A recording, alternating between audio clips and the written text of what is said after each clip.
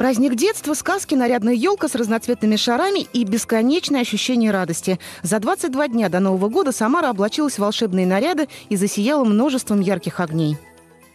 Красиво ночью светится. Всегда, когда вот больше неона каких-то или вот каких-то светящихся элементов, всегда лучше выглядит, особенно ночью. Приехала специально посмотреть в центр города, потому что эта иллюминация необычная. И, по-моему, у нас еще не было такого в Самаре. Грандиозность так ощущается какая-то немного. Так что, я бы сказал, завораживает с одной стороны.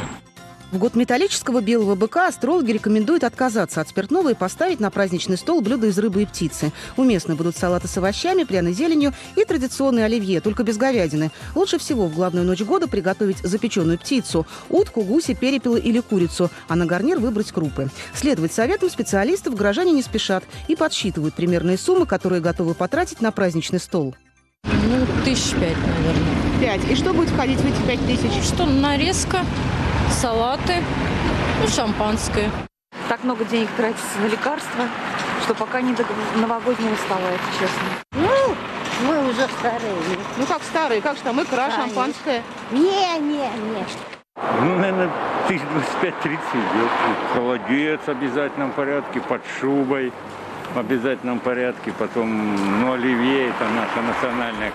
Штурмовать магазины в надежде удивить своих близких оригинальными блюдами горожане начали задолго до декабря. Популярностью пользуются овощи, колбасы, мясо птицы и свинины. Гипермаркеты соблазняют товарами по акции. Диетологи настроены скептически и призывают самарцев не переедать. Новогодний стол должен быть легким.